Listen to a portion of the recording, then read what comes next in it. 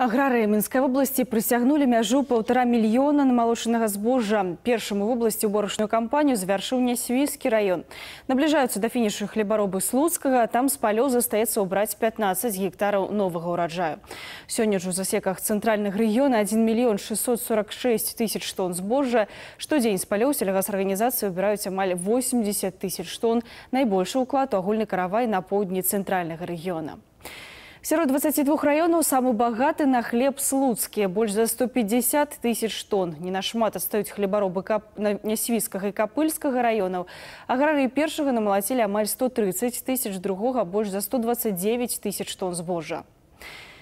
Што да ўраджайнасці, то тут па-ранейшаму наперадзе Нясвіж, дзе сабралі каля 57 цэнтнераў з гектара. У лідарах і Дзяржынскі раён амаль 51 цэнтнер і клецкі, дзе з гектара збіраюць больш за паўсотні цэнтнераў. За дажджлівага надвор'я крыху знізілася агульная ўраджайнасць Мінскай вобласці да 35 цэнтнераў з гектара.